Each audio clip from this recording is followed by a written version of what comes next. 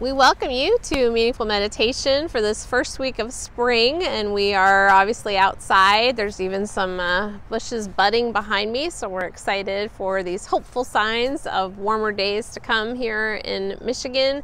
We are continuing our path through the season of Lent. This is the fourth Sunday that we are planning for, uh, coming up on March the 27th, if you can believe it, heading towards the end of the month. And this Sunday, we will be looking at the parable of the prodigal son, one uh, that even people who maybe don't study the Bible are familiar with. It's one of the more popular stories of the son who wants his inheritance and he's going to go spend it uh, now. And so he demands it. His dad gives it to him goes out and wastes it and then comes back um, seeking to have a reconciliation with his father. His father is delighted that he has come back.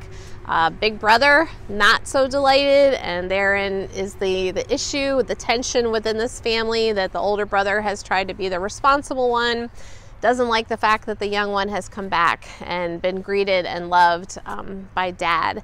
And I think wherever you put yourself in this story, the bottom line is about grace and how hard it is for us to extend that grace to other people.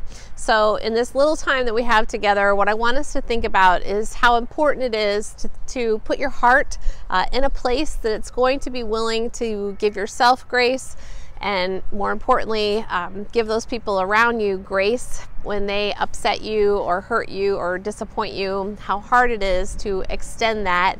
Um, I don't know how you feel when you walk into a bakery, but that's always a great feeling for me. The smell, um, that sense that you're gonna take a bite out of fresh bread or a fresh donut, something that just kind of makes you feel um, better inside. And there's a great expression that says, um, start each day with fresh grace.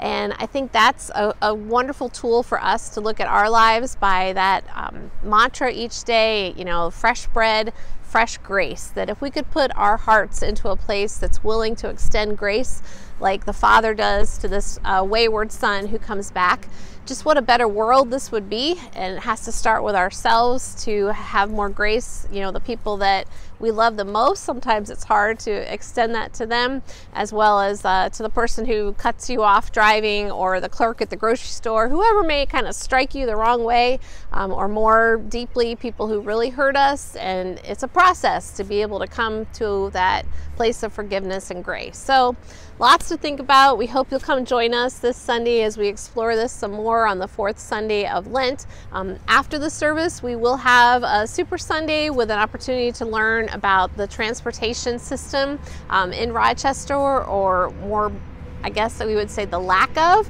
uh, thinking about how public transportation is not available. So we want to do what we can to advocate for that.